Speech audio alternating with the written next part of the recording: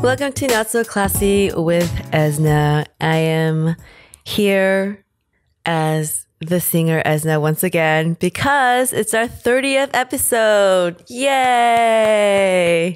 I was kind of debating what I should talk about. I thought, why don't I talk about all the bad luck that I've had with cars? So I will take you guys back to the first accident that I can ever remember. This was, I think, in about middle school and I was wearing a Korean traditional dress. I still remember it. It was pink. And my mom was driving, and we were on our way to, I believe, a recital, a piano recital. And we were on our way, and it was our light, and we were going uh, straight, but a car ran their red light and hit us at a T. So it hit my mom's side of the car and it made me jerk and hit my head on the window and the seatbelt yanked because my whole body like jerked up and it was a really really bad accident like all the airbags uh, exploded and we all kind of had really serious injuries and that was the first accident that i ever remember being in and I remember I had like cuts right where the seatbelt was because that's how strong it yanked me. And when I hit my head on the window, I hit right where my temple was.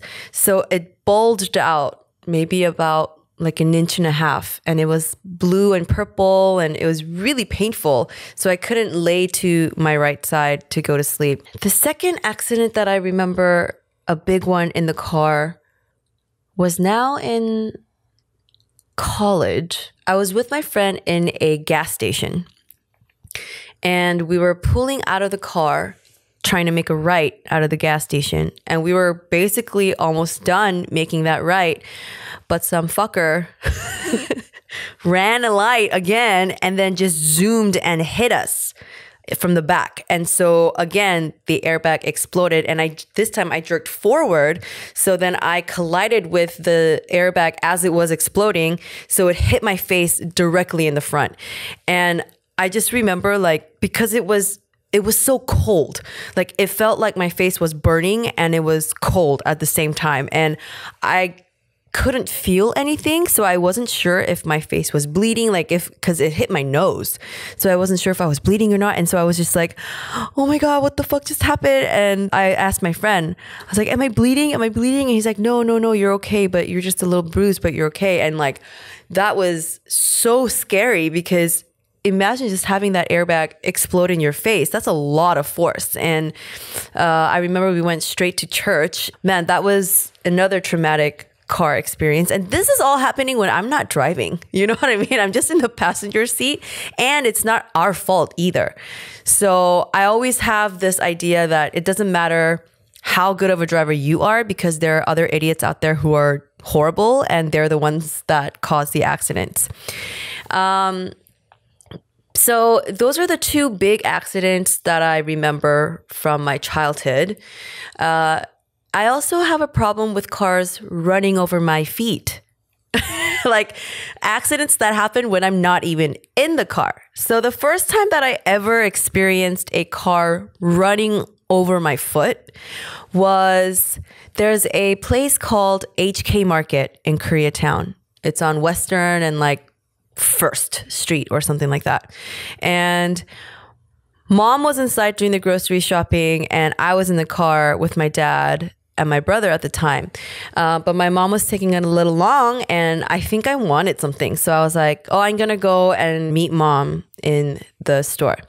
So I was running, and then a car is coming from my right side, but I was already going. And so the car should have stopped, but I saw and I freaked out. So I stopped, and the car stopped and the tire was on my foot and I was wearing white stockings then. And I thought I was going to get in trouble. And so I was just like, move back, move back, like telling the driver, like, move back, you're on my foot, you're on my foot. Like, my mom's coming out, like, move back. And the guy was like, what? I'm like, you're on my fucking foot. Like, you know, I didn't curse back then because I didn't know what that was, but I was like, move back, move back. And like, he rolled off my foot. That was my right foot then. And there were like clear tire marks because I was wearing white stockings back then. And this was in elementary school, I think. And so my mom comes out and she's like, What the heck just happened? And I remember we went to court then. And like she brought the stockings as evidence that this car like ran over her child's foot. And I don't remember what the settlement was or anything like that back then, but that happened once when I was really young.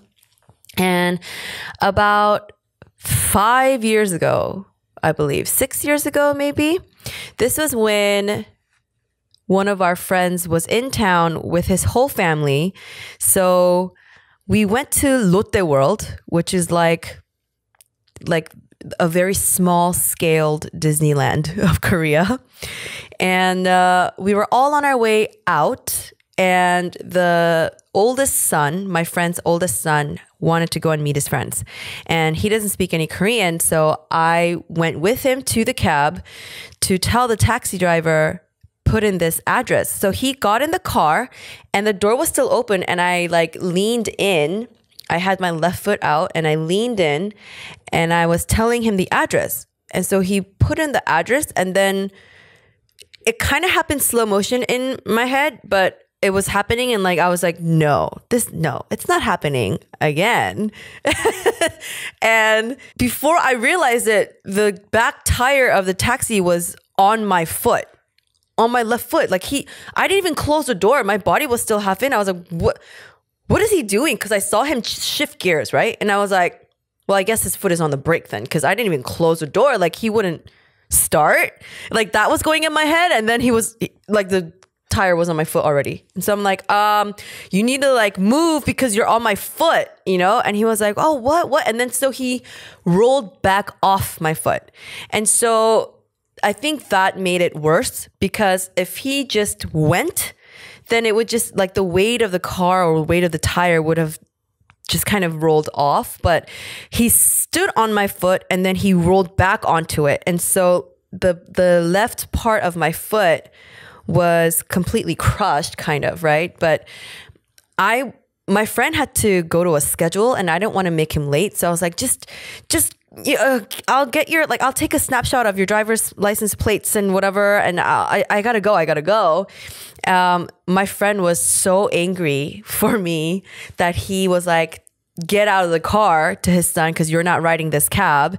And he like slammed the door and was like, just get out of here so we got him into another cab and he left. And you know it was the first time that I ever got into any kind of accident in Korea. So I was like I don't really know what I'm supposed to do. Like I have this guy's car plates but I don't even know his the driver's number. So then like I called I looked up the taxi service, whatever, and then I was like, I need to find this guy's number because he ran over my foot with his taxi cab. And yeah, and then I remember thinking, it's not hurting. Like, but I think it was just all that adrenaline that made it, it feel like it wasn't hurting, but it was actually really in pain. And I didn't know that in Korea, the more that you go to the hospital and the more you can prove that there's actually something wrong, you get paid more. But if you do keep going to the hospital, the settlement fee goes that much lower because they kind of deduct from what you would have normally gotten. And so I kept going because it kept hurting and there were these phantom pains. And like if I stood on it too long or if I'm just laying down sometimes, it would just hurt. And till this day, it'll just randomly hurt.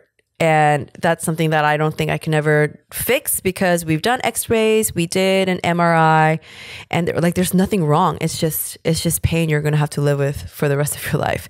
And so that was the the second time that my feet got ran over by a cab. and this most recent one was the biggest one where I actually got hit by a car as I was walking on the crosswalk. This is already almost two years ago because it happened in March of 2019. Uh, I was going to the Korean DMV to change my American driver's license to the Korean one so that I can drive in Korea. And what they were telling me was that I need to go to the immigration office and get some paperwork, and then you can bring it back and we can switch it for you. And there was an immigration office, or there still is an immigration office inside COEX, which is not that far of a walk from where the Korean DMV is. And the Korean DMV is right next to the Gangnam police station. And so I came out of the DMV and I was walking on the street and it was time for me to cross. And this this crossing was a blinking yellow light, which means cars need to slow down and watch out for pedestrians because we have the right of way. It's a two-way street. One car going that way and one car coming this way. And it's just a two-way street. I looked and there were no cars coming and I had enough time because the street was actually pretty narrow. It, it's not very wide of a street. And so I'm in front of the Gangnam police station and I'm crossing the street. I'm almost done crossing the street. And that's when a car hits me and he hits my right hip and I black out. Like I don't remember this moment, but from what I hear, I got hit and I flew up in the air a little bit. I landed on my left shoulder and then I hit my head on the concrete and I rolled over onto my face. And so I broke my collarbone. Obviously, I had a concussion, uh, but thankfully, the silver lining of it all was that it happened in front of a police station, so he couldn't run away. And right across the bigger street was the fire station, and right across the bridge was the big college hospital, Konkuk University Hospital. So as soon as the accident happened, for me to get to the hospital, it happened within about 35 minutes. So it was pretty quick. But the next thing I remember is me just waking up in the emergency room on the hospital bed in excruciating pain. And I'm just like, oh, like 너무 아파요. Like it hurts so much on my left like shoulder. Like what's what's wrong? What's wrong? And I'm I'm like crying because I don't remember and I'm just in so much pain. The nurse is like, You need to call someone. I'll give you your phone. You should call someone. And I called Angelina at the time through Kakao Talk. But you know, sometimes when you're crying, it sounds like you're laughing. She thought I was telling a joke or like I was laughing and I was just joking that I got like hit by a car and she was like, "What? Like what are you talking about?" And like like I got in so much pain like that. So she thought I was laughing. And the nurse takes the phone and was like, "Your friend just got hit by a car and she's in the emergency room. This is where we're at. You need to come here so your friend has someone that she can talk to." Thankfully, she wasn't that far away and she was with our friend Will. And uh apparently at the time they were saying only one person can come into the emergency room to say hi because it's such a hectic place. So I black out again and then the next point I remember is Angelina actually being there and she's like, "Oh my god, are you okay? Like you know, where are you hurting? And I'm just like, I don't know. I got hit by a car. like, I'm just in pain. And she's like, Well, I think your uncle is here and they only allow one person in the emergency room. So I'm going to go wait outside. And I was like, My uncle? like, I didn't call him. And so what happened was, uh, because I was trying to change my driver's license, I had taken my passport with me too and all of my IDs. And so I guess when the hospital staff was looking through my things, they saw my ID stuff and they searched it and they found my emergency contact that you actually put when you first register for any of these like legal documents.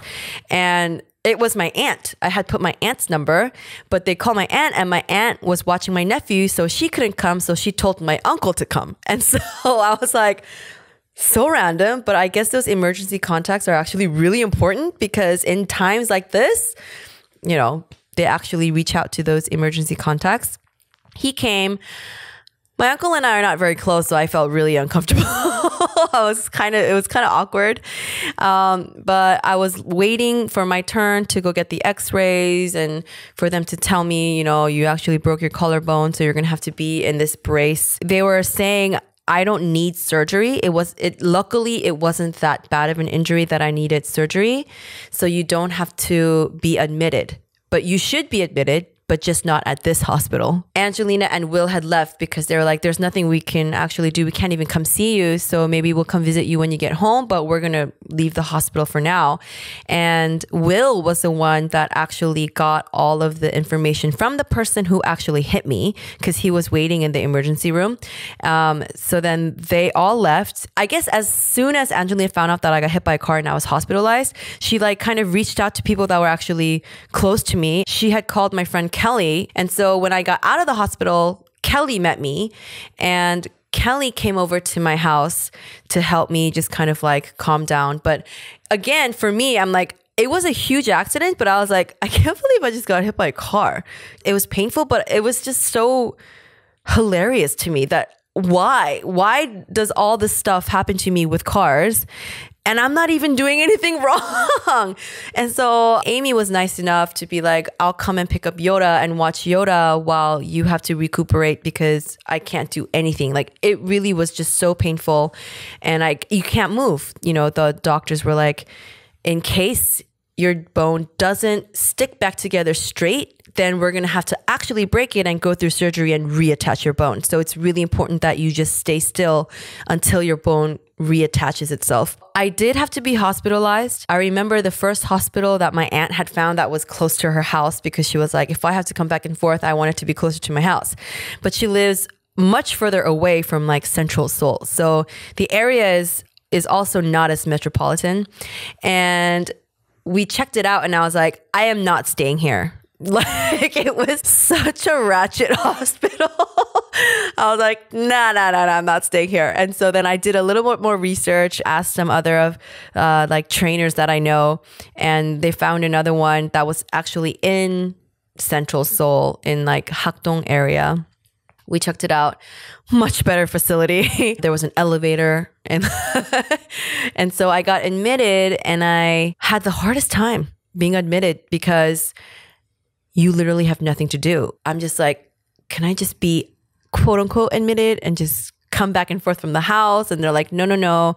This all has to be in the in the books. And so we know that it's difficult but you have to stay. And there's like curfew.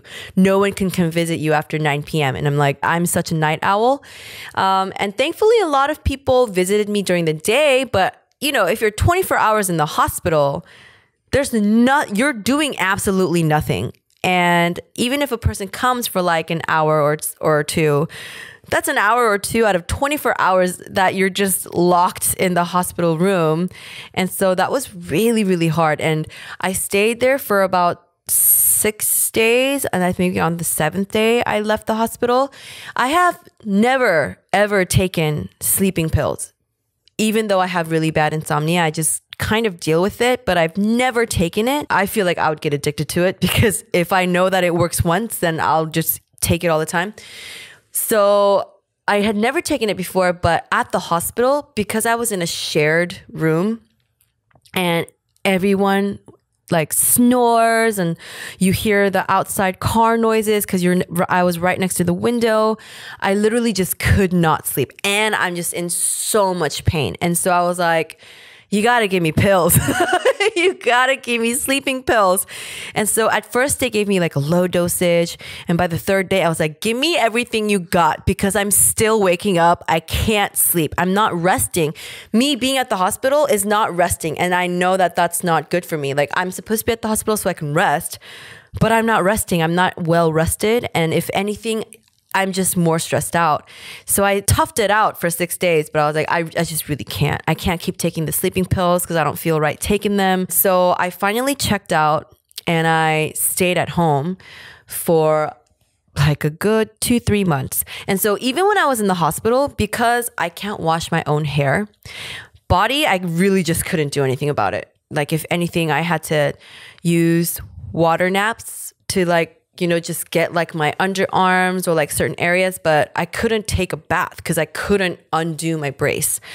And my hair, I'm just like, I I can't wash it. I can't even bend over to wash it because all the weight from the gravity, if I were to bend over, it would fuck up my shoulder. And so I remember I left every two days to go to my hair and makeup shop and they just washed my hair for me. it was horrible. But what was nice is that at the hospital while I was staying, they serve you three meals a day and it's like really nice Korean meals. Um, and I was like, wow, I, I guess I'm pretty lucky that, you know, I'm at a hospital where they actually feed you like really good food. Cause I don't know about other hospitals like in America and stuff. I don't know what kind of food they feed you, but I was like, whoa, this is like 제대로 된 음식, you know, like, like this is actually like a really good meal. Uh, yeah. So after that, I was in the house only to come out to go to the hospital to get checked and to get the the procedures done. Um, but there was nothing else that I could really do, and I would take X-rays, check the MRI. We did the CT scan, and they were saying everything is looking good. Everything is slowly starting to come back together. It's it's it's fine, but I would still be in so much pain. And after about four or five months, four months, after about four months, uh, they said the bone is pretty much attached together, just kind of weak. So you have to be careful, but you can take your brace off from time to time. But when you're sleeping, keep it on. And so I had to do that for about a month. And then they were like, the bone is good. You just have to take it off and you have to start doing physical therapy. But the problem that I had with that was that I had no money to do physical therapy and the insurance wouldn't cover it. And so I missed the window that was most important for you to get the physical therapy done. So the healing process for my shoulder has lasted even longer than it should. And I should actually still be doing physical therapy, but it's actually really expensive and it's not really covered by insurance. So I'm trying to do things on my own. And so even when you see my workout videos sometimes that I upload on on Insta stories, most of the time or actually 100% of the time for about a year, I was only working out my core and my bottom half of the body because I really just couldn't do anything with my arms.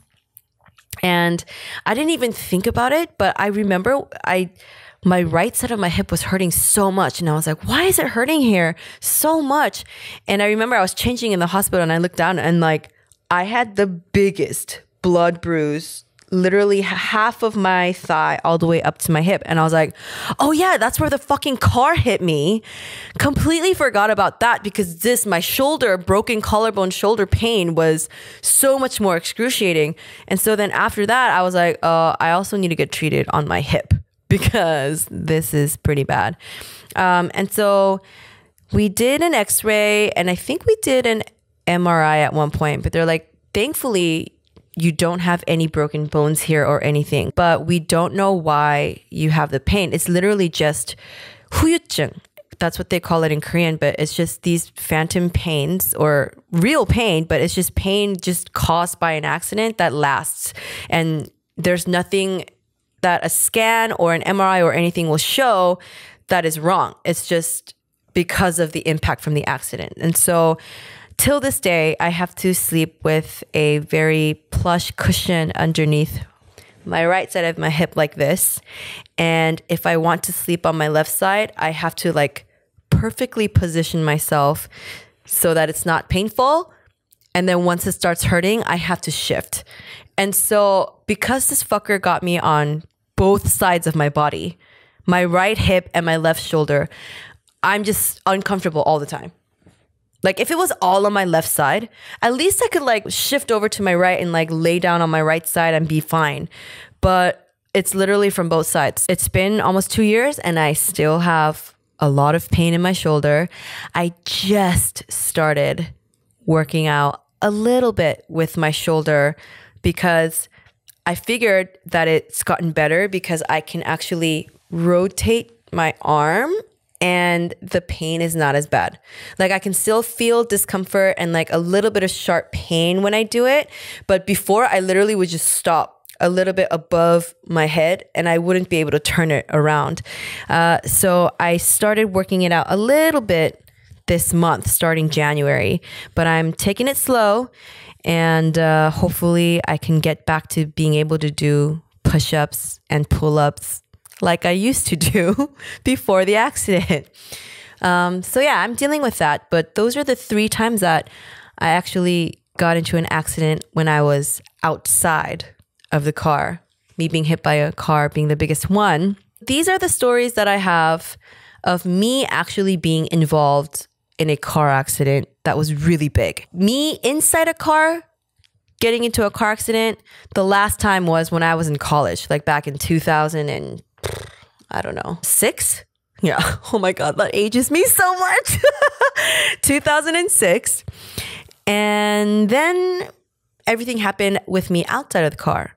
But the most recent car accident that I got into when I was in the car was a little fender bender, but it was still very like holy shit like i haven't gotten into a car accident like this in such a long time was when um, my dear friend angelina was driving we were on our way to costco and we were right before seongsu bridge and we were getting ready to cross the bridge and she wanted to change lanes and i'm not you know I'm not the biggest fan of her driving, honestly, and she's not the greatest driver. So anytime I am in the car, I I do get pretty nervous, uh, and she knows this. Uh, but she was switching lanes, and like I guess in her mind, she said that she looked there was space and there was a car behind, but she assumed that he was going to let her go. And in Korea, you never assume someone's going to let you go in front of them. And so she started going and we just collided. And I was, we jerked and I was like, oh, what the fuck? I, I, was like, I can't believe we just got a car accident. And uh, the funny thing was, right before that happened, as we were pulling out of an alleyway, she almost hit a motorcycle driver. And I was like, oh, 이거는 뭔가 되게 느낌이 불길해. I'm like, the feeling that I have right now is, ah, this is not good feeling. And then like a minute later, we actually get into a car accident. And so we had to pull off to the side and she had no idea what to do. And I was like, do you not know your insurance carrier's number? She's like, no, I got to call my manager. And I was like, woman. And I remember before this accident happened, when she changes lanes, she doesn't really like turn her head to look. And I think a lot of drivers, just generally speaking, they don't turn their head to look. And I'm like, who did you learn how to drive from? Because when I was being taught how to drive, you are always checking your surroundings no matter what. Your eyes should always be forward, looking at your rear view mirror, periodically checking your side view mirrors, even if you're going straight. And when you're making a lane change, you signal, let it click about three times. And then you actually turn your head to look at the blind spot of your car. So you turn the signal on, wait for three clicks, look at the side view mirror. If there's no cars, then you check again by turning your head quickly to see there's no car in the blind spot, and then you switch lanes. But I realized that when Angelina was driving, she just kind of goes, and then just goes. Like only her eyes move. I told her, I was like, girl, you gotta like move your head. Even when you're making a right lane change, look out your your passenger side in the back and then make your lane changes. That did not happen when we got into this car accident. Luckily, it was just like a fender bender, so you know, I think there was actually more damage done to her car than the guy in the back. That happened maybe in December. In Korea, man, though, it's like if they think you're at fault and the collision is just literally like doop, they'll be like, my neck, my back. I had to go to the hospital, which is exactly what happened. There was a guy and his significant other, like girlfriend or maybe a friend, I don't know, in the car. And uh, apparently they told the insurance company, we have pain, we got to go to the hospital. And I was like, oh my God, you guys are crazy. But okay, well, you never know. It did actually like jerk. So who knows? And so we found a hospital near our place because we had to go to the hospital too. But I was like, hey, I have shoulder pain. So let me just get a couple like sessions in for my shoulder anyway, because it, it was hurting because I was leaning on the armrest and I jerked like this. And so I did kind of jerk my shoulder and my neck forward. And I don't know if it was because of the accident or not, but literally the left side of my neck was really actually hurting a lot. So I did get the treatment done a few times. And then after that, you know, it was a quick settlement because there's no point in dragging that out. But that was the last time that I actually got into a car accident when I was in the car. So the other stories that I have for cars are not accidents, but me randomly seeing my dad on the freeway of all places after he got in a car accident. This was me in I believe, middle school. LA is huge. This story is, to me, even when I think about it, it's still so bizarre how I was able to spot him and that we were there at that time for me able to see my dad. Me, my mom, and my brother were in the car. We were driving 10 East to go home. It was around 4 p.m. And so that means there shouldn't be that much traffic on the 10 going east because it's not traffic hour. But there was so much traffic. And so mom was like, oh, 여기 사고 났나 봐. Like, oh, maybe there's a car accident. And she was driving on lane one. I'm usually asleep in the car because whenever I'm in the car, I just have to go to sleep or else I start feeling sick. So I'm usually sleeping in the car. But that day, for some reason, I was wide awake and I was looking outside of the car and we're driving by slowly, slowly. Obviously, the traffic happens because everyone's just like looking at the site, which is what causes the traffic. We were going, we were going, and we were right next to it because we were on lane one and they were off to the side. And I look to the right and I see my dad standing there. And I'm like, Oma, Apaya, it's dad. Like, pull over. And she was like, What are you talking about? Where? And I was like, In the car accident, it's dad. And she was like, Are you sure? And so she pulled over and I get out of the car and I was running on the freeway towards the accident and the police officer was like, You can't run over here. You can't run over here. And I was like, That's my dad. That's my dad. And he was like, What? And, and I was like, Yeah, that's my dad. And so I run up to him and, like, you know, he's kind of shaken up. And I'm just like, Appa. And he was like, Oh, oh what? Like, every, both of us were just like, you know, just so like dumbfounded. What is going on? Like, how are you here? And I was like, 그냥 우리 지나가다가 봤는데 아빠야. We were driving by, but it was you. And so I got out of the car. The police officers and everyone was just kind of standing around and like, you know, my dad doesn't speak English. And so I was talking to him in Korean, and this one police officer had the audacity to fucking be like, You gotta speak in English. And I was like, What? My dad doesn't speak Korean. How the fuck do you want me to communicate? Like, I, I need to know what happened. And so I experienced a little fucking racism there. But from what I heard, they were driving on lane four or five, and they were trying to swerve because the car had like all of a sudden just like switched into their lane. And as they were doing that, they collided and he hit the center divider and like spin three times and then landed on lane one. And thankfully, they didn't hit any other cars because that would have been really bad. Like if he spun and like it just kept going, the accident could have been really big. Uh, but they didn't hit any other cars except for the one I think they were trying to avoid. It's still such a crazy story to me that I was in the back seat with my mom driving home. I think it was from after school, and there was traffic, and I look out the window, accident site, and that's my dad. Like, how does that happen?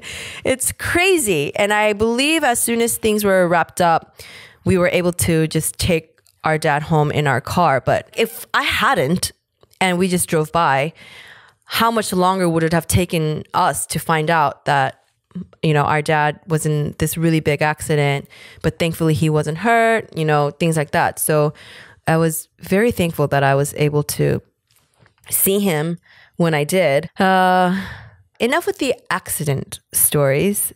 I think that's pretty much all of it. But now I have stories of when my car got broken into multiple times. And I still, till this day, cannot understand why it was my car. And this all happened when I was a student at UCLA. And I was doing off campus housing on Gayley Street. And it's right across the street from behind De Neve Plaza. So all you Bruins out there will know exactly what I'm talking about. For some reason, my boyfriend at the time and I had to drop my brother off at school. And my boyfriend at the time had gifted me for my birthday a Burberry wallet. And for another occasion, he had just gifted me this new digital camera. And both of it was inside my small fake Prada bag. the contents inside were real, but the bag was fake. It's a fake Prada bag.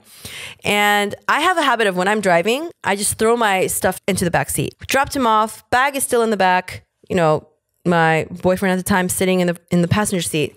We pull up into my gated garage. We pull up and I forget about this bag and we go upstairs. But again, it's a gated garage. I probably just wasn't thinking twice thought it was safe.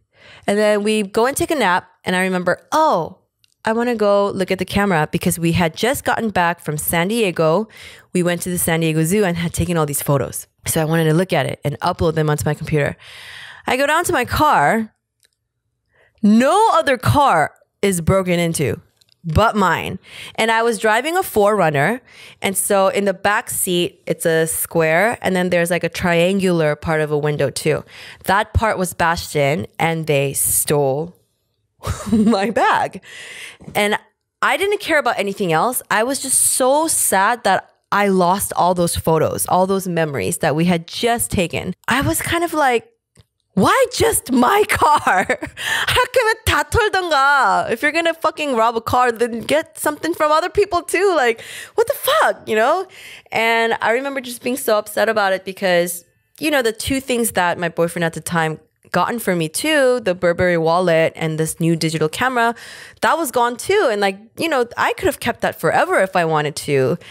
But, you know, what can you do? So I quickly got over it. And then maybe about a year later, I moved south of Wilshire and it was a nicer apartment. Again, gated garage.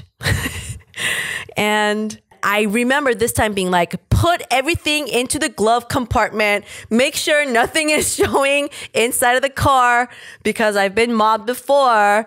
So I put everything in. And I remember we had just gotten like uh, a car charger for our phones and things like that, but it was all in the glove compartment. So we go downstairs to the car, and my car is broken into again. And this time, the whole front window is broken into. And I'm just like, why? Nothing, nothing was being shown. And so, like, they like took everything out of the glove compartment, and then like the car charger that we just bought was taken. But I was like, really though? Like, there was nothing in the car. Like, why just my car? I was just really upset because again, no other car was broken into except for mine. And then you think that's the end, but no. My boyfriend at the time had also gifted me a cell phone.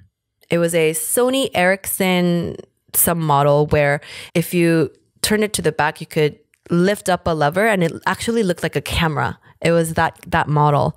And um, I had a dog and two turtles at the time. And I had brought my dog and my two turtles to the vet at like 10 a.m. because there was something wrong with my turtle. He had like a little lump and he needed to get shots and get checked up. And so I was like, at the same time, let me just go get, you know, my dog checked up as well. And, you know, I'm carrying like a turtle case with like two turtles with water and like I'm trying to like handle my dog. And so I left my phone in the car and I forgot to lock my car. But it's 10 a.m. It's 10 a.m. at the vet's office. I go inside, drop off the dog, and drop off the turtles and I'm waiting and I'm like, oh shit, my phone's in the car. So I like go back to the parking lot and I press the unlock, but like it's already unlocked. So I'm like, fuck, I forgot to lock my car. But I'm like, ah, it's 10 a.m., it's fine. And I open the door and all the shit was like all messed up and I can't find my phone. And so someone robbed me at 10 a.m. I mean, I don't understand. Like at 10 a.m., these thieves, like, they, I guess they don't care about morning or night. But I'm just like, really, though? Like, why is my luck with cars just this bad?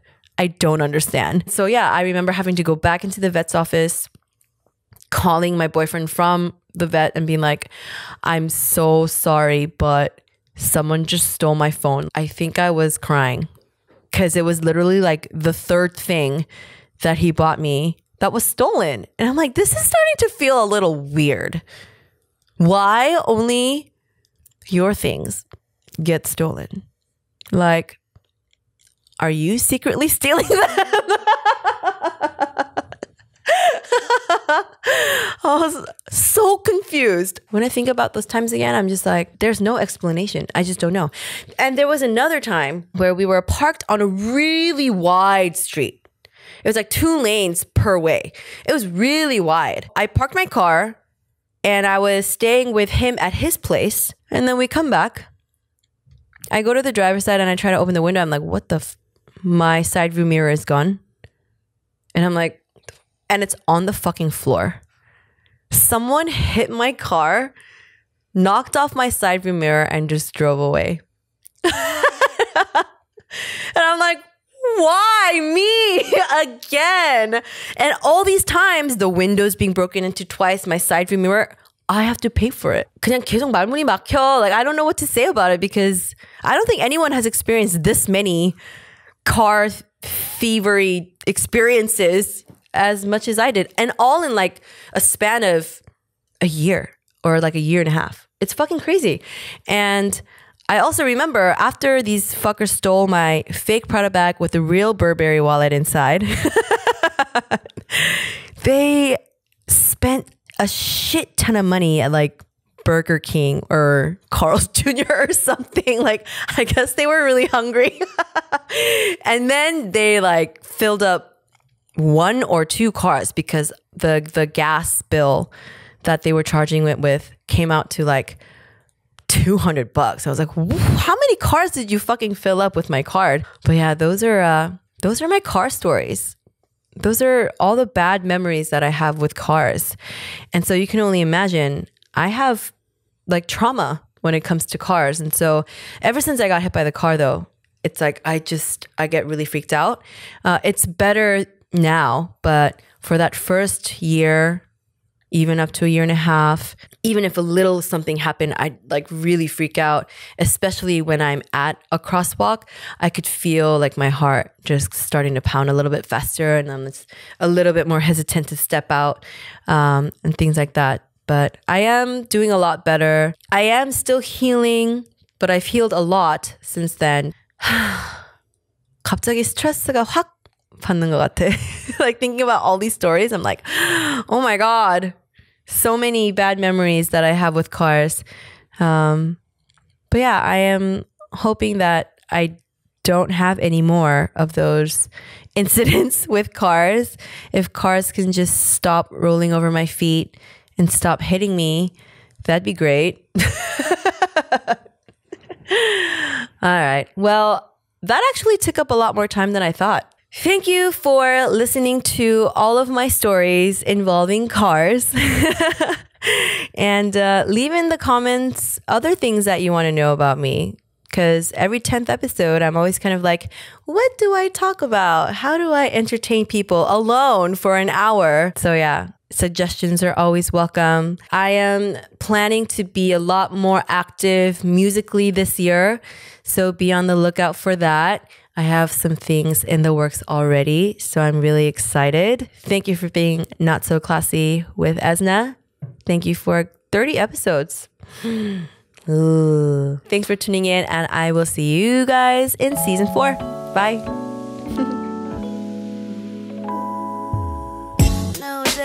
똑같은 기분 똑같은 친구 만나 똑같은 things 해 요즘 술도 땡기지